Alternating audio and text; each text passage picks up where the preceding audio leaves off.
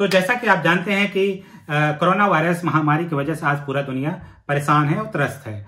ठीक है? इससे बचने के लिए लोग तमाम अलग अलग तरीके अपना रहे हैं, जैसे साबुन से बार बार हाथ धोना, सैनिटाइजर यूज़ करना, मास्क लगाना इत्यादि। आपको अगर सैनिटाइजर बनाना है तो आप बनाओगे कैसे? क्योंकि आपको चाहिए अल्कोहल। तो फिर मैंने सोचा कि क्यों ना हम अपने दर्शकों को ये बताएँ कि अल्कोहल बनता कैसे है। आज की वीडियो हम आपको बताएँगे कि चीनी से आप अल्कोहल कैसे बनाएँगे? दो लीटर अल्कोहल बनाने के लिए सबसे पहले आपको लेना होगा आधा किलो चीनी। अब हम बनाते हैं शुगर वाश शुगर वाश मतलब कि पानी को अगर चीनी में मिला दें, हो गया शुगर वाश इसमें हम दो लीटर पानी डालेंगे, आधा लीटर चीनी में। याद रखें कि जब दो लीटर पानी में आप आधा किलो चीनी मिलाएँगे तो उसका वॉल्यूम जो है दो लीटर से ज़्यादा हो जाएगा। इसलिए आपको चीनी और पानी को मिला के जो शुगर वॉश बनाएँगे, वो दो लीटर से ज़्यादा नहीं होना चाहिए। ठीक है? तो मैंने ऐसा कैलकुलेट किया है कि अगर आप 1.7 लीटर पानी डालेंगे और आधा किलो चीनी तो पूरा दो लीटर ये हो जाएगा। इस तरह से आप देख सकते हैं कि शुगर पूरी तरीके से घुल गया है। गर्म करने का सिर्फ़ एक ही उद्देश्य है चीनी को घोलना, ना कि इसको उबालना। आपको इसको उबालने की कोई ज़रूरत नहीं है। अब हम इसको ठंडा होने देते हैं। शुगर वाश हमारा हो गया है तैयार। अब इसमें डालेंगे ईस्ट ईस्ट जो है मार्केट में कई प्रकार के आते हैं, लेकिन अगर आप के one V one one six लेंगे तो अच्छा रहेगा एल्कोहल बनाने के लिए। ईस्ट जो है डायरेक्ट डालने के बजाय पहले हम इसको अलग से पानी में घोल लेंगे, फिर हम डालेंगे। तो इस तरह से हम जो है दस ग्राम ईस्ट डालेंगे दो लीटर अल्कोहल बनाने के लिए। हम पानी में इस तरह मिला के रखते हैं ताकि ये अच्छे तरह से हाइड्रेट हो जाए। ठीक है? तो हम इसको इसे छोड़ देते हैं पंद्रह मिनट के लिए। जब तक ये ईस्ट जो है पंद्रह मिनट के लिए हमने भिगो के रखा हुआ है, तब तक मैं जो है इस जो है शुगर वॉश को इस बॉटल में ट्रांसफ़र कर लेते हैं। इस तरह से हमारा जो है ईस्ट का जो घोल था, वो तैयार हो गया है। अब मैं ये घोल इसमें डाल देता हूँ।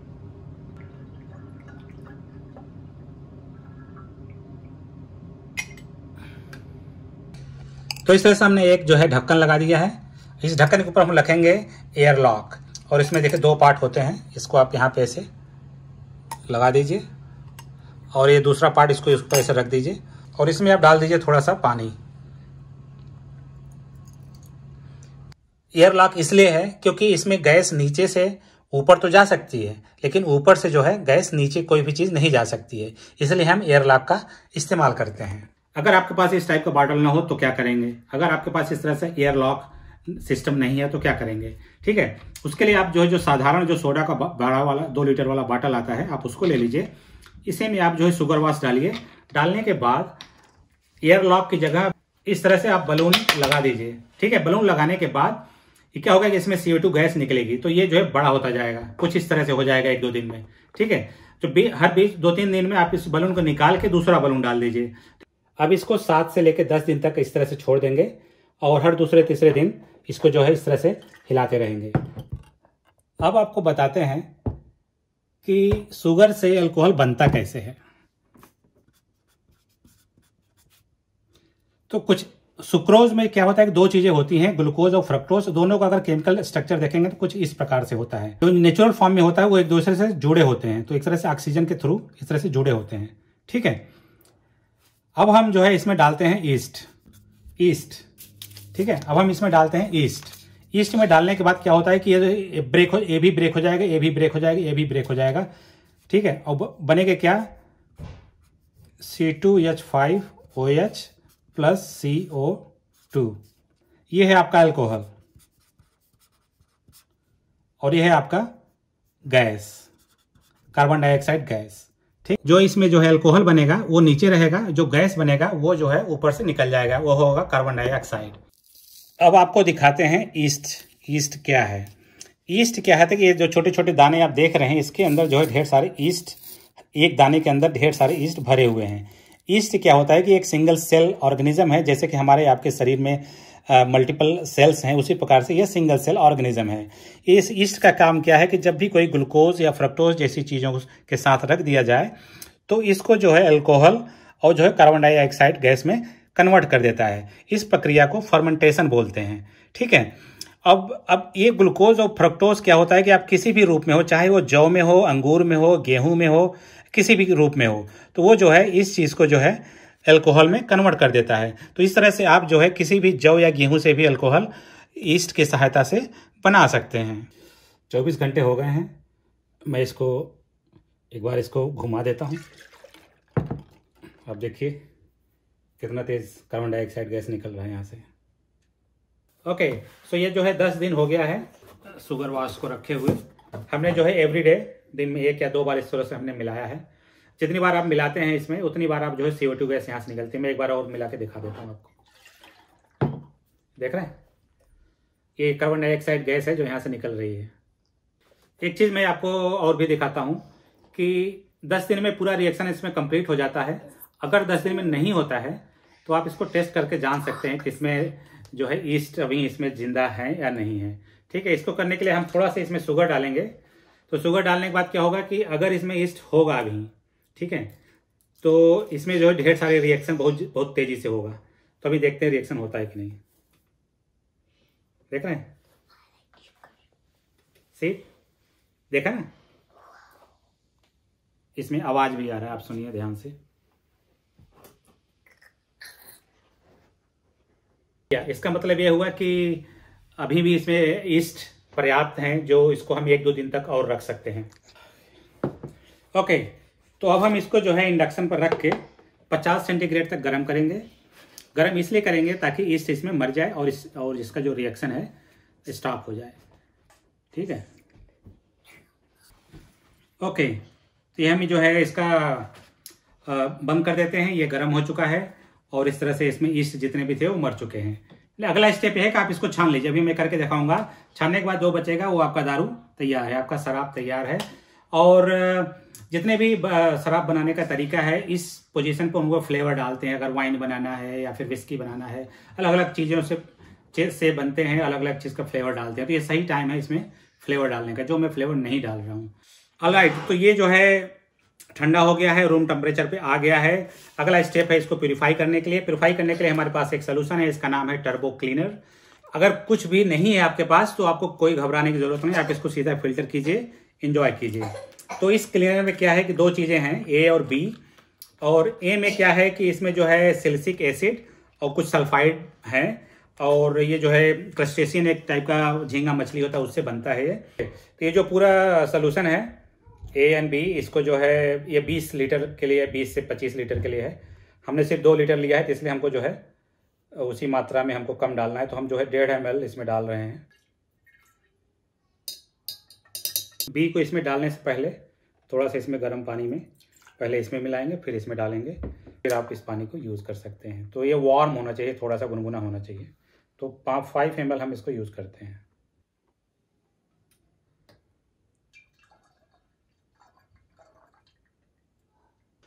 लगभग 24 घंटे हो गए हैं और मैं देख रहा हूँ कि आप क्लियरली देख सकते हैं कि ये जो है सोल्यूशन जो है क्लियर हो गया है।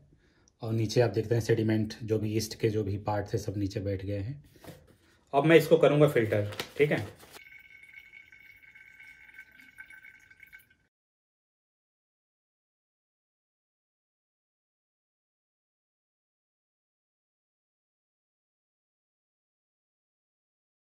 तो इस तरह से हमने ये फ़िल्टर कर लिया है। क्योंकि बहुत टाइम लगा फ़िल्टर करने में। और कुछ तो मैंने फ़िल्टर नहीं किया है। इतना पर्याप्त है आप सबको दिखाने के लिए। ओके सो शुगर वाश बनाने के बाद और फ़िल्टर करने के बाद, जब भी इथेनॉल बनता है तो इथेनॉल बनने के साथ साथ कुछ इथेनॉल के बड़े भाई जैसे आइसोप्रोपेनॉल और इथेनॉल के छोटे भाई जैसे मेथिल एल्कोहल भी बन जाते हैं। तो कुछ ऐसे ऑल आनी एल्कोहल ऐसे बन जाते हैं कि जो जो है एक जहर का काम करता है। जो मुख्य रूप से जो जहर बनता है इसके साथ में, उस जहर का नाम है मेथिल अल्कोहल छोटा कार्बन वाला होता है, एक कार्बन वाला होता है तो उसको निकालना ज़रूरी होता है। तो अब हम उस निकालने की जो प्रक्रिया है, उसको बोलते हैं डिस्टिलेशन डिस्टिलर आप बना, बनाया खरीद सकते हैं। मार्केट में आपको पाँच हज़ार से दस हज़ार रुपए में आते हैं। और आप इस तरह से देसी जुगाड़ करके भी घर पे बना सकते हैं, जो जैसे कि मैं आपको बता रहा हूँ। कापर का ट्यूब होता है। ये मैंने जो है खरीदे हैं। इन दोनों को मिला के हमने जो है, ये जो है छः छः छः छः डॉलर के हैं लगभग। कहाँ गया? प्राइस ये है। तेरह डॉलर का है। अगर आप इसको मार्केट में खरीदना चाहते हैं तो आप जो भी रेफ्रिजरेटर के जो, रिपेयर की जो दुकानें होती हैं, आप वहाँ से खरीद सकते हैं। तो एक ट्यूब जो है, इसके इस छोर पे यहाँ पे डाल दीजिए, और दूसरा छोर जो है, किसी प्रेस प्रेशर कुकर में इस तरह से डाल दीजिए। और हमारे पास इंडक्शन मशीन है। इंडक्शन मशीन में अनफॉर्चुनेटली जो है एल्युमिनियम जो है इससे काम नहीं करता है। इसके जगह हमने दूसरा ऑपरेटर्स यूज़ करें अभी मैं आपको दिखाऊँगा। लेकिन आपके अपने जुगाड़ के लिए आप हमेशा जो है प्रेशर कुकर का इस्तेमाल कर सकते हैं। तो हमारे पास ये दूसरा है, एक तरह से ये भी प्रेशर कुकर ही है। तो इसमें प्रेशर कुकर की जो ओपनिंग होती है, वहाँ पर हम इस ट्यूब को डाल देते हैं। तो ये शुगर वाल जो हमने बनाया था, मैं इसमें डाल दे रहा हूँ। याद रखें कि अगर आपको अगर पीने के उद्देश्य से बना रहे हैं तो इस शुगर वाश को आपको फ़िल्टर करने की ज़रूरत नहीं, जैसे कि मैंने फ़िल्टर कर दिया था। फ़िल्टर करने से क्या होता है कि उसका जो टेस्ट होता है, फ्लेवर होता है, वो चला जाता है। लेकिन अगर आपको हैंड सैनिटाइजर बनाना है तो आप इसको फ़िल्टर करने के बाद इस प्रेशर कुकर के अंदर डाल दें। और इस जो है, जो कापर का जो कोयल है, इसके ऊपर हम जो है, इसमें हम पानी मिला देते हैं। आप किसी, आप बाल्टी में भी रख सकते हैं इसको। और इसमें हम मिला देते हैं कुछ बर्फ़। तो ये हमारा प्रेशर कुकर। इसको हमने हीट ऑन कर दिया है। अब यहाँ से जो है, ये जो है, जो भी हमारा शुगर वाश था, यहाँ से बॉयल होगा। फिर इस ट्यूब के वा के थ्रू जो है वेपर बन के इसमें आएगा, फिर ठंडा होएगा। फिर जो है हम यहाँ से कलेक्ट करेंगे इसको। तो इसमें जब भी बॉयल होगा आपका ये शुगर वाश तो इसमें जो है इस ट्यूब के थ्रू वेपर बन के आएगा। इसमें जब भी इधर पहुँचेगा तो चूँकि ये ठंडा है तो कंडेंस कंडेंस होकर के लिक्विड बन जाएगा। फिर इस ट्यूब के माध्यम से हम उस लिक्विड को इस फ्रैक्शन में कलेक्ट कर लेंगे। और वैसे भी तो अगर आपको पूरा जो ये डिस्टिलर मशीन जो आती है, वो भी पाँच से दस हज़ार रुपये की आती है, आप वो भी ले सकते हैं। तो आप देख सकते हैं, ये जो है बॉयल का अब ये वेपर यहाँ से आना शुरू हो गया है। और इस तरह से आप ट्यूब में भी देख सकते हैं। कि दिख रहा होगा आपको। मुझे दिखाई दे रहा है। ठीक है ना? यहाँ पर भी आ गया है। ठंडा होकर लिक्विड बन गया है। अब इस ट्यूब के माध्यम से हम इसको कलेक्ट करेंगे। तो अगर आप इसको पीने के पर्पज़ से या हैंड सैनिटाइजर के पर्पज़ से बनाएँ तो शुरू के जो है पचास एम इसको अलग कर लें। ठीक है, मैं इसको जो है दस एम अलग कर ले रहा हूँ फ़िलहाल। तो इस तरह से हमने जो है, जो पहला फ्रैक्शन लगभग बीस से पच्चीस एम हमने अलग करके रखा हुआ है, उसमें मेथनॉल हो सकता है। तो बाकी जो दूसरा फ्रैक्शन है, इसमें इथेनॉल हो हो सकता है तो इसको मैंने अलग कलेक्ट कर रहा हूँ, आप देख सकते हैं। इसमें एक एक करके ड्रॉप ड्रॉप करके अब इसमें इथेनॉल आना शुरू भी हो गया है। और अगर आप इसमें से जो जो इथेनॉल निकालने का सबसे अच्छा तरीका यही है कि आप उसको पहले स्लो आँच में गर्म करें क्योंकि मिथेनॉल का जो बॉइलिंग पॉइंट होता है वो जो है चौंसठ डिग्री होता है। इथेनॉल का लगभग अस्सी डिग्री होता है। तो शुरू में अगर आप लो आँच में उसको गर्म करेंगे तो सबसे पहले इथेनॉल ही आएगा। जब आप पचास एम फ्रैक्शन कलेक्ट कर लें उसके बाद टेम्परेचर बढ़ा दें तो उसके बाद इथेनॉल आना शुरू होगा। तो इस तरह से हमने जो है तीन फ्रैक्शन कलेक्ट किए हैं। पहला मेथनॉल का हो सकता है दूसरा जो है इथेनॉल का हमने ले रखा है उसमें। इसको हम तीसरा हमने इसमें कलेक्ट किया है और जिसमें हम कोशिश कर रहे हैं कि इसमें मेथनॉल का कोई कंटेमिनेशन ना हो, जिसको आप जो है पीने के लिए या फिर हैंड सैनिटाइजर बनाने के लिए सबसे, ये फ्रैक्शन सबसे अच्छा होना चाहिए। तो जब भी आप ये एक्सपेरिमेंट करें तो जिसका ये पानी का पानी है जो आपने बर्फ़ डाला था, इसको बीच बीच में बदलते रहें, क्योंकि भी, ये भी गर्म हो जाता है तो मैं आपको टेम्परेचर चेक करके भी दिखा देता हूँ। तो वर्तमान में इसका टेम्परेचर है कितना? देख रहे हैं fifty six degree fifty seven degree है। लगभग साठ डिग्री के आसपास है। तो मैं इसका पानी बदलने जा रहा हूँ, इसमें बर्फ़ भी डालूँगा। तो जब भी आप इसको एक्सपेरिमेंट करो तो बीच बीच में इसमें पानी बदलते रहें और टेम्परेचर भी चेक करते रहें। जितना कम रहेगा, उतना अच्छा है। अगर आपके पास बर्फ़ ना हो तो आप जो है किसी गीले कपड़े से ढक दीजिएगा इसको और बीच बीच में गीला कपड़ा जो है बदलते रहिए। तो इस तरह से हमने जो है डेस्टिलेशन में हमने तीन फ्रैक्शन कलेक्ट किए हैं। पहला फ्रैक्शन लगभग 10 एम के आसपास है। और दूसरा लगभग जो है 80 से 90 एम है और तीसरा बाकी का हमने ये तीसरे फ्रैक्शन इसमें कलेक्ट किए हैं। तो पहला जो फ्रैक्शन है, इसमें मेथनॉल होने की संभावना है। जो पहला फ्रैक्शन होता है, उसमें मेथनॉल पार्ट होता है तो उसको हम फेंक देते हैं, क्योंकि इसमें ये पॉइजनस होता है और ये जो है, इसको पीने से जो है, आपको अंधा बना सकता है। बाकी आप चाहे हैंड सैनिटाइजर के लिए बनाइए या तो पीने के लिए बनाइए तो आप जो है, दूसरा और तीसरा फ्रैक्शन ही यूज़ कर सकते हैं। और मैं आपको एक चीज़ और दिखा दूँ कि जो पहला फ्रैक्शन है, इसका कलर आप देख लीजिए। थोड़ा सा वाइटिस है। और बाकी दूसरा कम वाइटिस है तीसरा काफ़ी क्लियर है। तो ये भी अंतर है आप ती, तीनों फ्रैक्शन में आप ये भी देख सकते हैं। जो अगला स्टेप है हम ये चेक करेंगे इसमें परसेंट इसमें जो है इथेनॉल की परसेंटेज कितना है। उसको करने के लिए हम जो है हाइग्रोमीटर का इस्तेमाल करेंगे। और ये है हाइग्रोमीटर हाइग्रोमीटर से जो है परसेंटेज आप चेक कर सकते हैं। इसको डालने के लिए आपको आसानी से इसमें डालना है। तो आप देख सकते हैं कि ये जो है तीस से ज़्यादा और चालीस से कम है, लगभग पैंतीस परसेंट के आसपास का है ये। तो इसमें जो एथनॉल की मात्रा है, वो लगभग पैंतीस परसेंट है। जो कि हैंड सैनिटाइजर बनाने के लिए का आपको कम से कम जो है सत्तर परसेंट एथनॉल चाहिए। तो उसके लिए जो है हम आपको, हम क्या करने जा रहे हैं कि हम इसको जो है फिर से जो है डिस्टिल करेंगे। तो जी, जो ये वाला बड़ा वाला फ्रैक्शन है, इसको हम जो है फिर से फ्रैक्शन, फिर से फिर से जो है डिस्टिल करने जा रहे हैं। ये वाला भी डाल देते हैं। ठीक है? तो ये वाला फ्रैक्शन अभी मैं बचा लेता हूँ, टेस्ट के लिए बताएँगे, टेस्ट करेंगे इसमें इसमें मेथनॉल है कि नहीं है।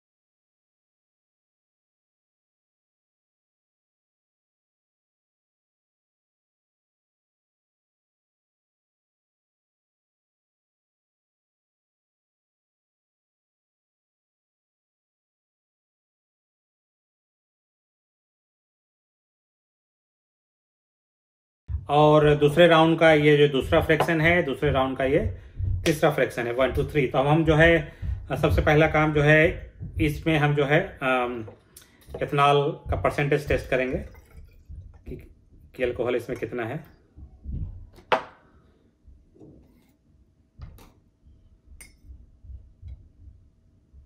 जय बजरंग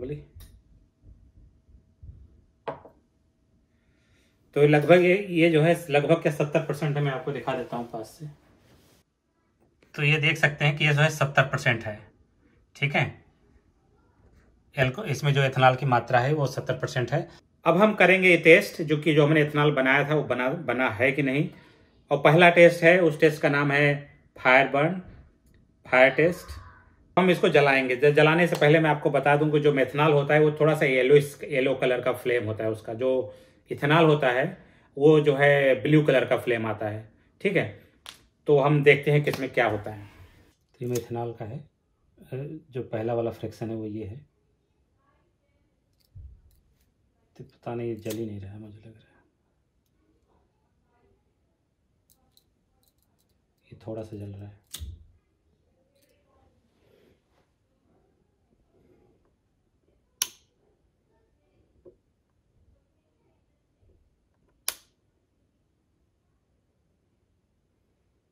जो पहला वाला फ्रैक्शन है वो नहीं चल रहा है, मैं एक बार ट्राई करता हूँ।